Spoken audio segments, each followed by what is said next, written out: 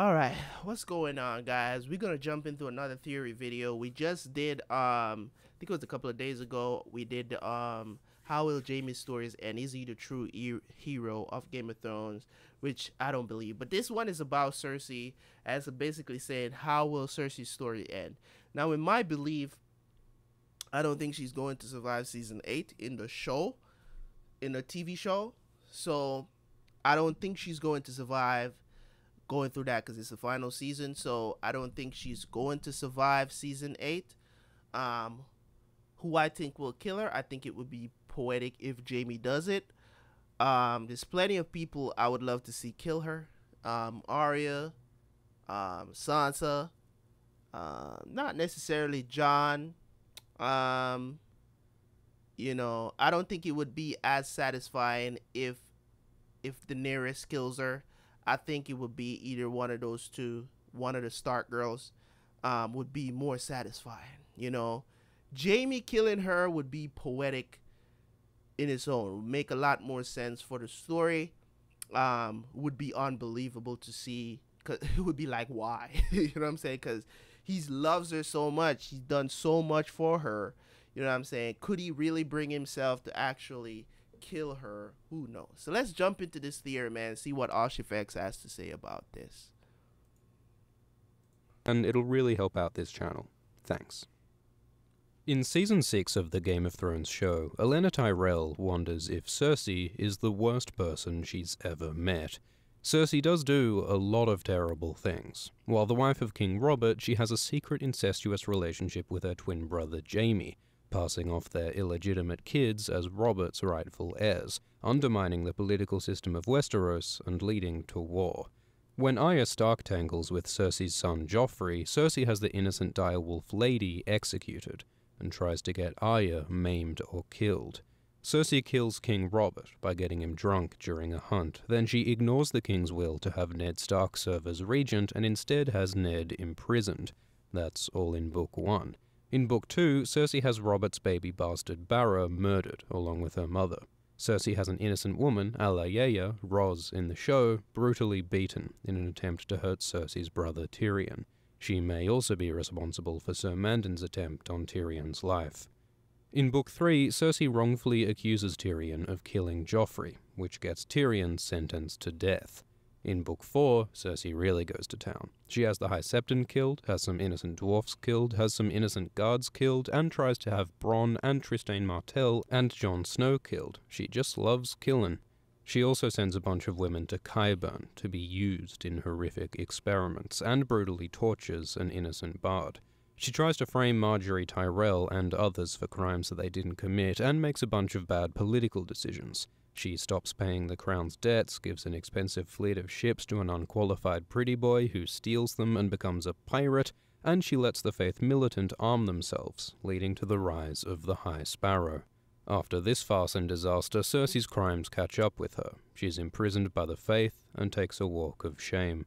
That's as far as the books go so far, but in season 6 of the show, Cersei wreaks revenge. She blows up the sparrows All right, and wait a second wait a second.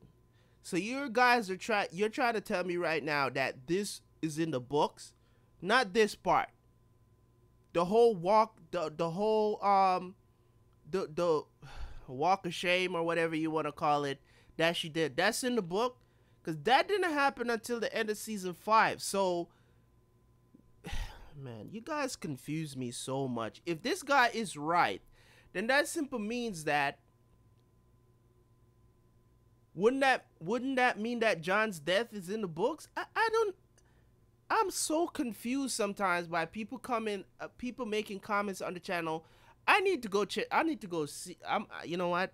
What I'm going to do is I'm going to check this out for myself because you guys are not proven to be legitimate sources. You book readers out there, you're not proven to be legitimate sources if you have not read the books.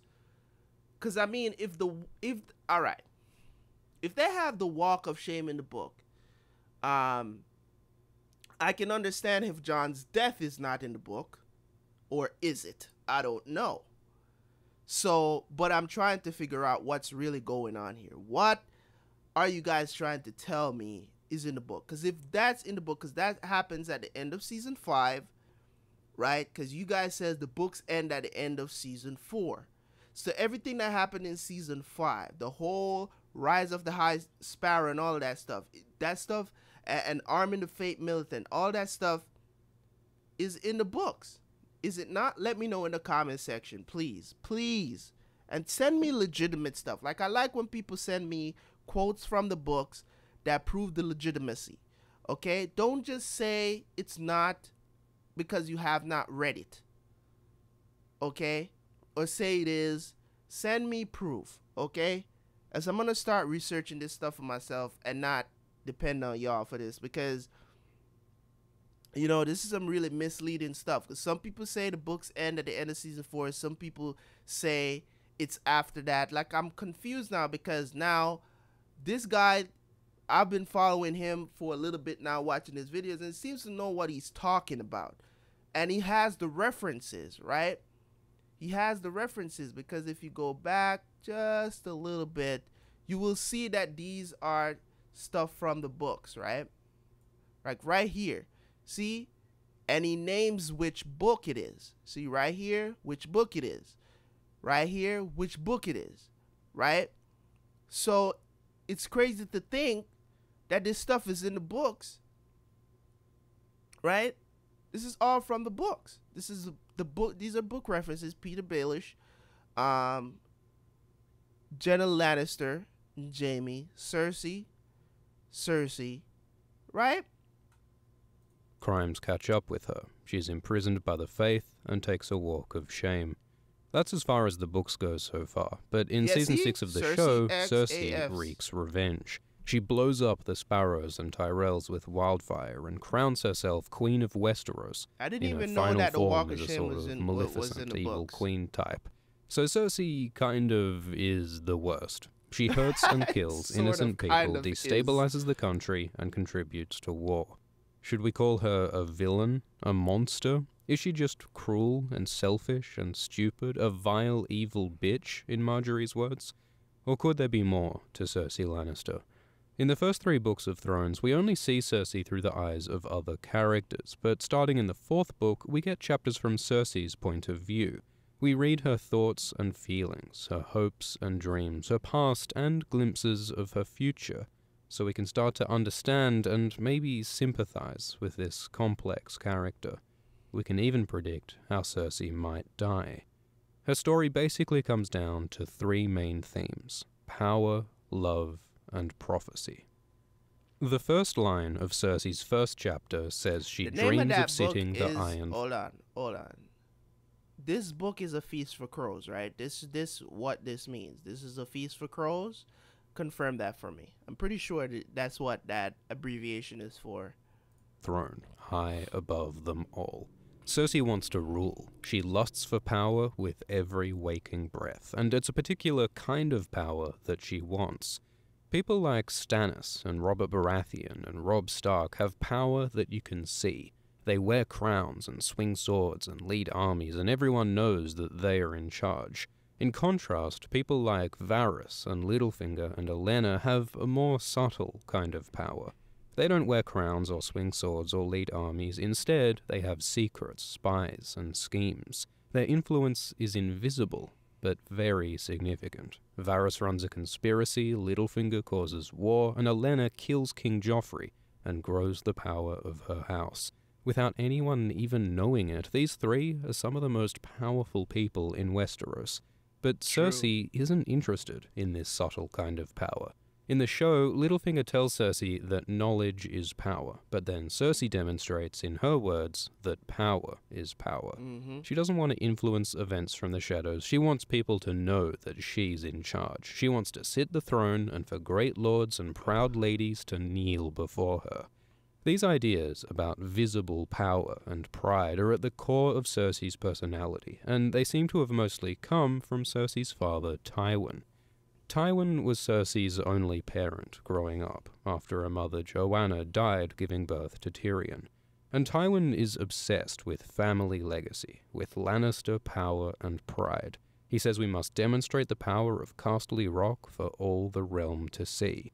These ideas had a big impact on Cersei. She often thinks on the lessons Tywin taught her, and after Tywin dies, killed by a Tyrion, Cersei thinks of herself as Tywin's heir. She wants to be seen as the inheritor of his legacy, and she tries to act as he would. The thing is, Tywin was brutal. He was responsible for some of the worst atrocities in Westeros the extermination of the Reynes of Castamere, the sack of King's Landing, Clegane's raids in the Riverlands, the Red Wedding, not to mention his cruel treatment of Tyrion and Tysha and others. The lessons Tywin taught are barbaric, stuff like never wound a foe when you can kill him, and the only way to keep your people loyal is to make them fear you, that people are tools to be used, and that love is worthless. Cersei follows Tywin's cruel example, and in some of her darkest moments, like when she tortures an innocent bard or thinks about wiping out all the Ironborn, she tells herself that these things are okay because it's what Tywin would have done. So a lot of Cersei's brutality in her pursuit of power and pride comes from the lessons Tywin taught her. But there's a deeper conflict behind all this. Cersei thinks of herself as Tywin's only true son, as Lord Tywin with teats. There's a tension here, because Cersei Lannister is a woman. There are powerful women in Westeros. Look at Olenna Tyrell, Asha, Catelyn, Sansa, Arya, Tywin with tits. Daenerys, All right. Visenya, and Rhaenys. But Westeros is a patriarchal medieval society, which means unless you've got dragons, women usually aren't allowed to hold direct power in their own right. Some women hold subtler kinds of power like Olenna, but Cersei isn't allowed to be powerful in the direct, visible way that Tywin is powerful. She can't sit the throne as Hand of the King like Tywin. She can't hold a war council like Tywin or lead an army like Tywin. When Tywin speaks, men obey. But when Cersei speaks, people often contradict her or refuse her. They push her aside because, Cersei says, she's a woman.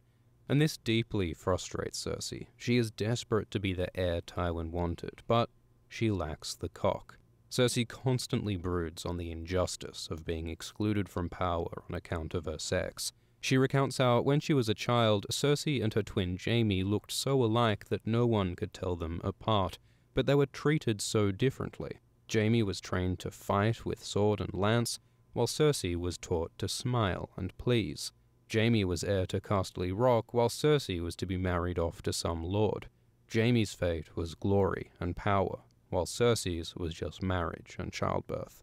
Cersei often wishes that she was born a man, because if she was a man, she could rule the realm in her own name and fight her enemies with a sword.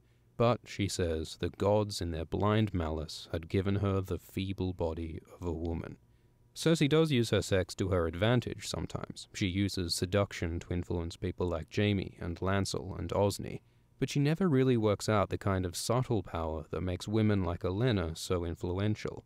In fact, Cersei hates Olenna, calls her a disgusting old crone, and calls Queen Margaery a whore and murders her in the show.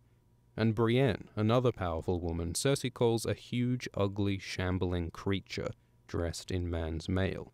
She calls Princess Elia Martell feeble, with black eyes and a flat chest, calls Lady Lysa Arryn a cow, and calls Septas wrinkled cunts who are probably praying for a good raping. Cersei not only fails to emulate other powerful women, she hates them and is cruelly critical of their female bodies. Cersei's like a self hating woman, a female misogynist, and this is one of many contradictions in Cersei's personality. She is desperate for power and pride like her father, but she's deeply frustrated by the limitations imposed on her as a woman. Cersei is also frustrated in her attempts to love.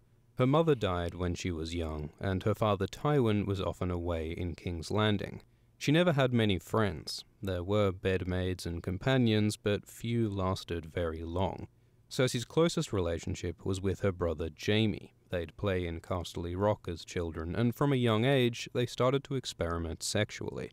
When a maid caught them at it, the twins were separated and chastised because, you know, incest. But the message to Cersei here was that her most intimate relationship was something seen as shameful and wrong, something to hide.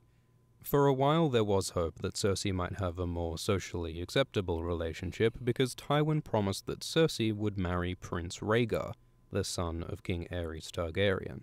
For years, Cersei was happy and excited about the prospect of marrying Rhaegar. He was beautiful and sensitive and strong, a dragon prince. Cersei dreamed of being his queen.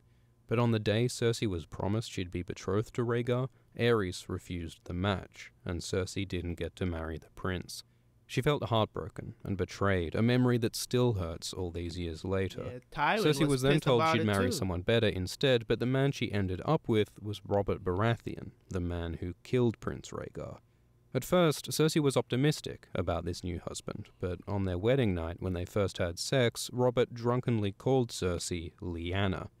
Lyanna Stark was the sister of Ned and died giving birth to Jon Snow.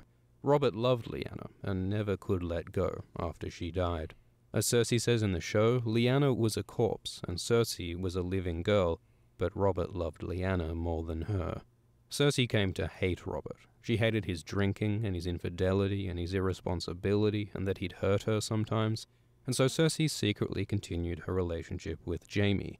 She says that she and Jaime are more than brother and sister. They are one person in two bodies. They shared a womb together, and when he is in her, she feels whole. The incest aspect is pretty icky here, and their relationship is messed up in other ways too. Cersei lies and manipulates Jaime and cheats on she and apparently only loves him to the extent that he looks like her. So does Cersei really love Jaime, or does Cersei just love Cersei? It's a dis- It's exactly what I was saying back when I was watching the show and reacting to it. I was telling you guys, is it really love that they have for each other? And I don't believe it's actually love. I think it's just um they are infatuated with the connection that they have as twins. And all, and also there there's so many facets to it when you actually take time to actually break down this whole relationship because she, she has cheated on him as he said and I've I noticed that back when I was reacting to the show. And I said to you guys it has nothing to do with just the fact that they you know they screw each other. It's it's just I just don't believe because I was trying to tell you guys that when it comes on to Jaime and Brienne it's a more honest relationship and their their chemistry on screen is unreal. You know what I'm saying? So for me, I believe the true love lays there when it comes on to Jaime. Jaime and Brienne deserves to be with each other. But he just can't get man, Cersei must got some she must got some of that good, good coochie boy. She I mean, boy, it ain't love it ain't love. I don't believe it's love. I believe it's just she controls him so much. She uses that coochie to control him, man. And I believe she knows she can do that, so she does it. You know, and that's why I was so happy when he walked away from her in season seven. Was like, I don't believe you. You ain't gonna do shit. You know what I'm saying? Does that prove that she loves him? No, that just proves that you know what I'm saying. It's still her brother. You know, and just like how she chose not to kill Tyrion when she, when he came to see her, you know, and when she finally knew that he didn't ki- that he didn't kill Joffrey, you know what I'm saying? So there's really nothing, you know what I'm saying, other than the fact that he killed um Tywin. Other than that, she has nothing to talk about. You know what I mean? So let's jump back into it, man. Back up a little bit. Really love Jaime, or does Cersei just love Cersei? For real. It's a dysfunctional relationship, but it's the Very. realest love that Cersei's ever had. Jaime is there for Cersei, fights for Cersei, and is the father of her three children. what is she Cersei do dreams of loving gone. And the- and the openly, of living gone. with him as husband and wife with their kids, but because of the incest and because of Cersei's marriage to the king, she can never openly be with the person she loves. Her whole relationship history is a series of frustrations and denials. She wants Jaime, she can't have him. She wants Rhaegar, she ends up with Robert. In the same way that Cersei's denied the power and pride she desires, Cersei's also denied love, and these frustrations feed much of her cruelty throughout the series. But there's one more important theme to cover prophecy. When Cersei Yes, was the 10 years old, on the same day she hoped to be betrothed to Prince Rhaegar, she and some friends entered the tent of Maggie the Frog. Maggie was a witch, a fortune teller, so Cersei marched in and demanded to hear her future. Maggie granted three questions, so Cersei asked when she'd marry Prince Rhaegar, and Maggie said never, that Cersei would marry the king. Cersei asked if she'd be queen, and Maggie said Cersei will be queen until there comes another, younger and more beautiful, to cast Cersei down and take all that she holds dear. Cersei asked if she and the king would have children, and Maggie said the king will have sixteen children, and Cersei will have three. Gold shall be their crowns, and gold their shrouds, Maggie said. That's as far as the show goes, but in the books, Maggie continued and added that when Cersei's tears have drowned her, the Valonqar shall wrap his hands about her pale white throat and choke the life from her. Maggie also prophesied the death of Cersei's friend Melara. So what does this all mean? Well, Maggie said that Cersei won't marry the prince, she'll marry the king. And at first, Cersei thought this meant she'll marry Prince Rhaegar after he becomes King Rhaegar, but that never happens. Rhaegar is killed, and the king Cersei marries is Robert. Maggie's also correct about Cersei's children. Robert has 16 bastards, including Gendry and Barra and Mya Stone, while Cersei has Joffrey, Myrcella, and Tommen, with Jaime. And Cersei's friend Melara does die. After Maggie's prophecy, Melara drowns in a well. In fact, it's strongly implied that Cersei pushed Melara, killed her young friend partly because she thought Maggie's prophecy wouldn't come true if no one talked about it. So at 10 years old, this was Cersei's first murder, and it was motivated in part by fear of Maggie's prophecy. Cersei is haunted by Maggie's words for the rest of her life. Maggie accurately predicted Cersei's husband and children and the death of Melara, so Cersei's afraid the other parts of the prophecy will also come true the gold shrouds, the younger more beautiful, and the Valonqar. The gold shrouds suggest that Cersei's children will die. The younger, more beautiful bit suggests that another woman will cast Cersei down. As for the Valonqar that will choke the life from her, Valonqar means little brother, so Cersei believes that her younger brother Tyrion will try to kill her. Maggie's prophecy threatens everything that Cersei cares about most her children, her power, and her life so she tries desperately to avert the prophecy. She thinks Tyrion is the Valonqar, so she tries to have him killed. She believes Margaery is the younger, more beautiful person, so she tries to get her killed by framing her for adultery. And she does everything she possibly can to protect her children. But it's never enough. Joffrey is murdered with poison and dies at his own wedding. Her daughter Myrcella is sent to Dorne by Tyrion and is attacked in the books, dead in the show. Tommen is married to Margaery, who Cersei feels is taking him away from her, and he ends up committing suicide in the show. He's still alive in the books, but probably not for long. So, despite Cersei's best efforts, her children are taken from her, one by one, in golden shrouds, like Maggie predicted. Despite all her power, Cersei's unable to protect the ones she loves. Her attempts to protect herself by killing Tyrion also fail, and her attempts to protect her power by framing Margaery totally backfire, getting Cersei locked up and humiliated. The more she fights, the worse things get, and in Feast, Cersei spirals into fear and paranoia, desperation and delusion, violence and cruelty. She sees dwarfs in every shadow and makes foes of friends. She convinces herself that Tyrion and Margaery are evil schemers out to get her, she declares that she'd kill all the common people in Westeros if that was what it took to keep Tommen safe. She's a terrible ruler. Cersei becomes everything that she hated about Robert. She drinks too much and cheats on Jaime and makes dumb decisions. Cersei even has sex with a woman and hurts her in bed, only to pretend the next morning that it never happened, exactly like Robert. In her desperation to protect her power and her children and her life, Cersei's choices get more extreme until she destroys herself politically. Ironically, it isn't Maggie's prophecy so much as Cersei's fear of the prophecy that causes her downfall. And prophecies are often She's like trying that. to change in her future. The more you try to avoid them, the more you make them true. The Mhm. truth of Maggie's prophecy is not what Cersei thinks.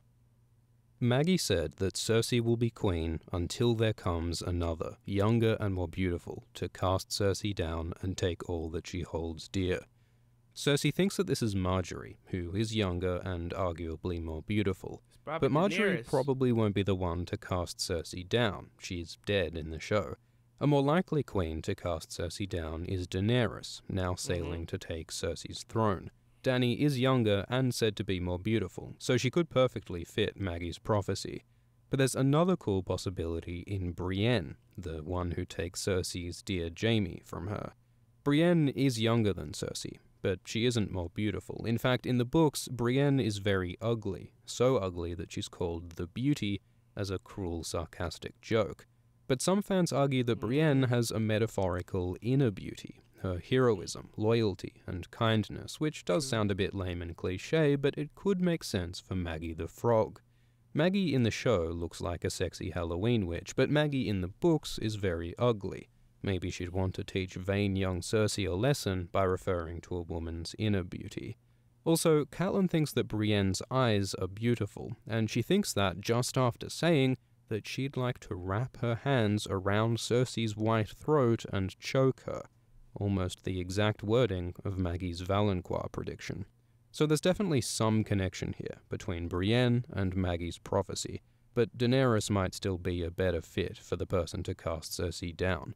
Either way, all of Cersei's efforts against Margaery were probably pointless, and only served for Cersei to screw herself over. Cersei is also probably wrong about the Valonqar, the little brother who will kill her.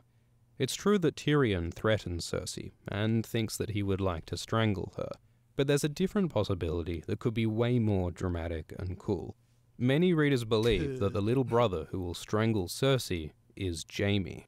Right. Jaime is Cersei's other younger brother. He came out of the womb right after Cersei did. They've been lovers almost all their lives, but while Cersei grows ever more cruel and crazy, Jaime in the books takes a different path. After losing his hand, Jaime questions his identity and starts to change from the arrogant, selfish Kingslayer, a man with shit for honor, into someone nobler, someone beginning to seek redemption. He questions his relationship with Cersei until finally, at the end of Feast, he rejects her entirely, burning a letter Cersei sent begging for help. Maybe Jaime will finally realize that his twin has become a monster. Maybe it'll be up to him to end her reign of terror.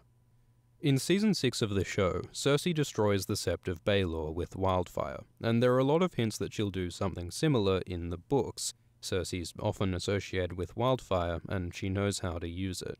But in the books, she probably won't just blow up the Sept, like she does in the show. In Book 2, we're specifically told that wildfire is removed from beneath the Sept. So Book Cersei will do Ah. something else with wildfire, something far more dramatic. Cersei's interest in wildfire reminds Jaime of the Mad King Aerys. Aerys was a cruel and unpredictable ruler, and towards the end of his reign, with Robert's rebellion about to usurp him, Aerys had caches of wildfire placed all over King's Land. Bruh. Bruh. So many times I wish people sometimes, as you guys come on this channel and you hear me talk about certain things, right? You hear me talk about certain things, and you guys, I mean, some people, I want to say you guys, some people will come at me and they'll be like, there's no way you can call Cersei the Mad Queen. And I'm like, uh, yeah, I can. She loves wildfire. Okay? She loves it. You need guys need to remember that even back before Blackwater Bay, it was Cersei that was getting wildfire. Okay? It was Cersei that was talking to the pyromancer and Tyrion took over. Okay? It was Cersei. Was anybody else? It was her. She's and now it's confirmed that this is in the books. I have not started to read the books yet. Right? Still trying to get around to find the time to get to them. Okay? This is crazy. Okay? When I tell you guys that, and it, it's not even a prediction, I just dubbed her the Mad Queen. And now, even Jaime thinks she's like the freaking Mad Queen in the books. So, book readers can't tell me shit now. You can't tell me shit. Because if if if if Jaime is complete, look at this: Cersei and Jaime let all of King's Landing see the flames. Now you sound like Aerys. He's comparing her to Aerys. And who knows Aerys better than Jaime? He killed the damn dude. Burn them all. Burn them all. Right? I'm telling you guys, man, it's just I see certain things and I'm not saying I'm I'm no genius when it comes on to this stuff because I'm just getting into the lore of it. But this the one that's the only person I could think of. Um, there's nothing wrong with me dubbing Cersei the Mad Queen. There's not oh oh she has not gone to those lengths yet. Of course not. You get what I'm saying? Like there's a lot of stuff that Aerys has done that we don't that I don't know about because I'm not a book reader. But if Jaime in the book is is is is um even comparing her to even put her in the same lane, that simply means that something struck a nerve. Something struck a nerve in Jaime, and Jaime said said this. It's something that he saw. Let's go back a little bit. That's why sometimes it's not that I want you guys to go with me on every single thing that I say, but sometimes it's just I'm just drawing the parallel. I see what I see, right? Look at this. Jaime knew the look in his sister's what's that eyes.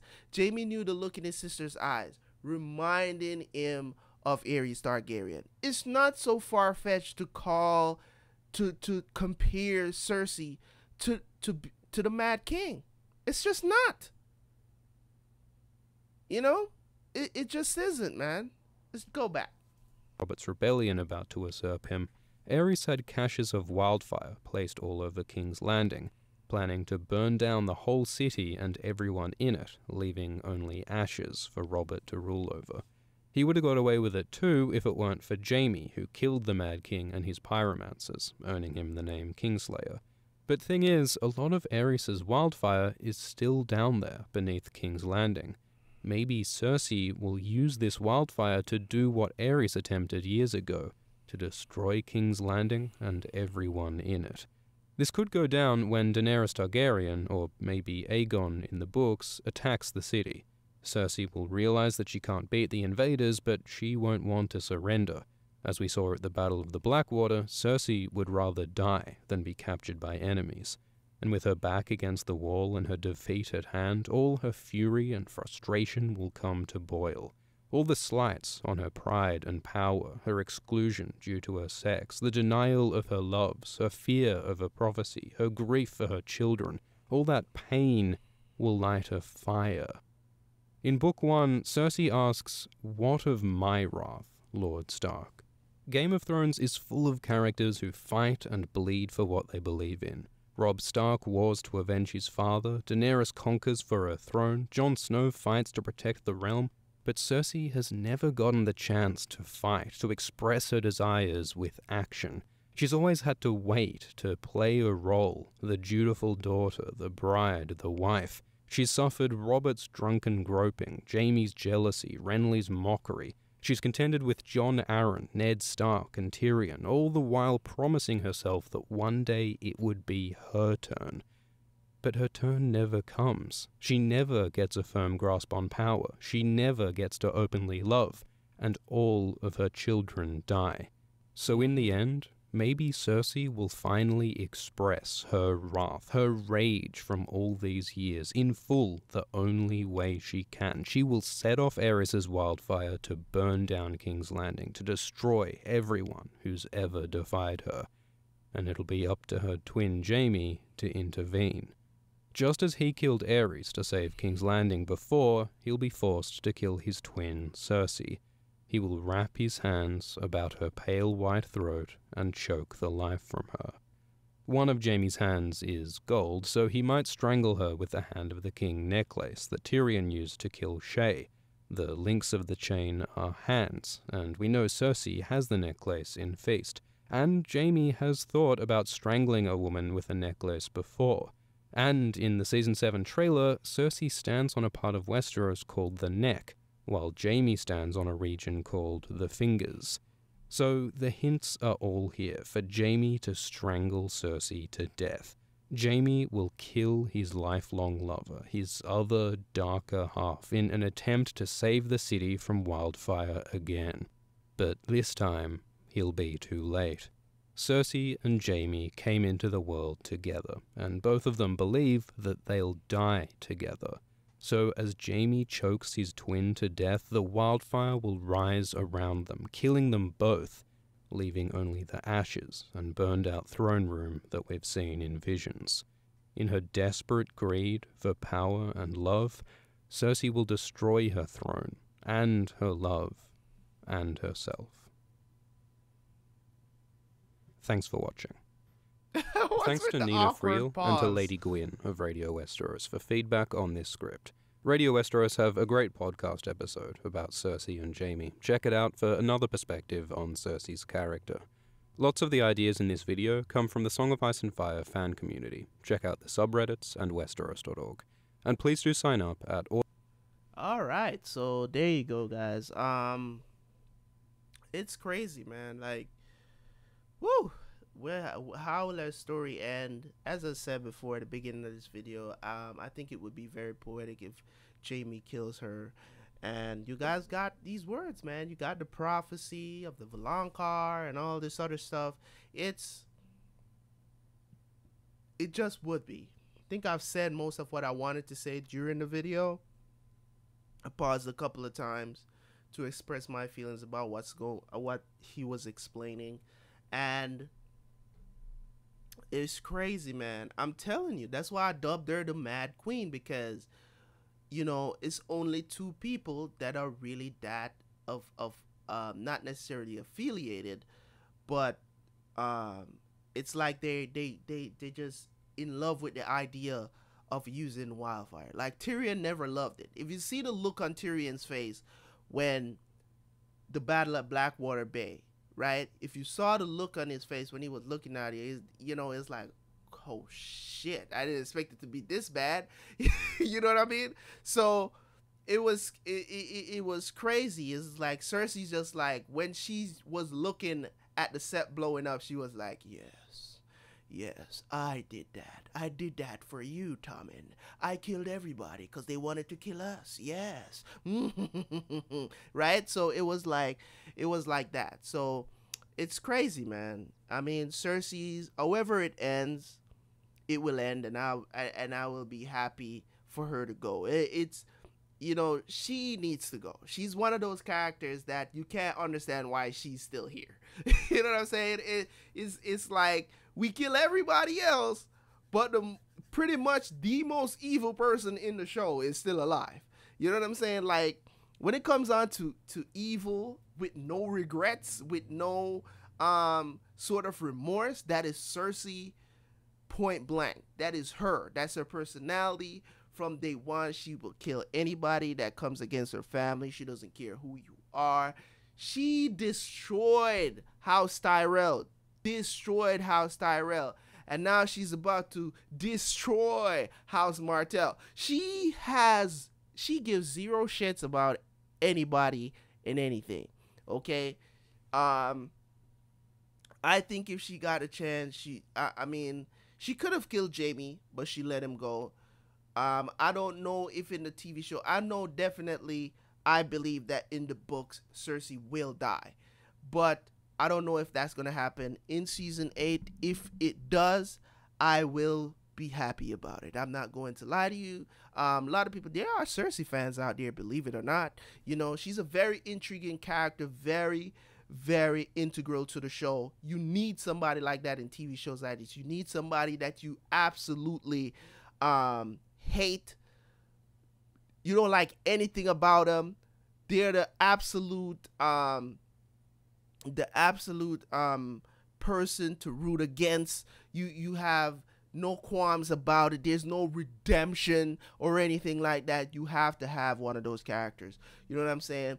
Um, so I'm happy that there was a character like this that was written like this that been she's been through a lot too don't get me wrong she's been through a lot but uh, and and it's who what her is and that's another mark of good storytelling right is that is just another mark of good storytelling when you actually look at it because when you when you actually see what's really going on right of Cersei and we know what you know what she went through. It's so much that she went through.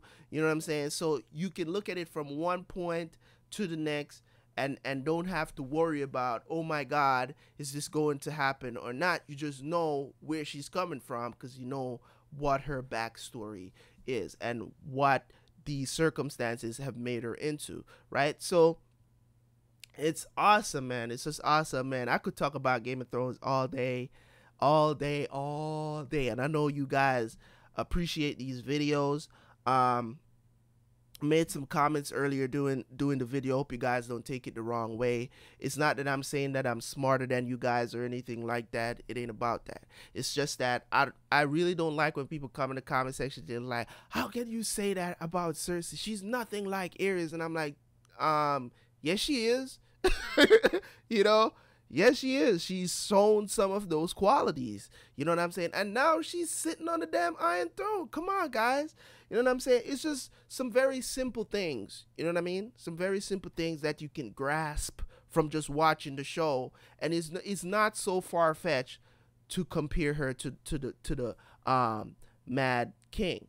You know, and now that I know that Jaime actually did, I mean, who else can can can can put some kind of validity to that other than Jaime.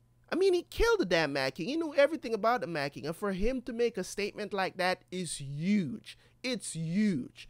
Okay? So, thank you guys for watching as always, man. It's the first time you're watching. It's going to be a long video. But it's the first time you're watching. You got through this video, man. You already know how I feel about Game of Thrones, man. You already know how I feel. Go back, watch some videos of me just talking about Game of Thrones. We chop it up over here. We chop it up over here. All comments are welcome, but don't expect it to just sit there. You know, you're going to get challenged because that's what this community is all about. Thank you guys for watching. Leave a like on this video. Leave a comment in the comment section as always. Thank you guys for watching. You know who it is. Your boy Terabyt Reacts.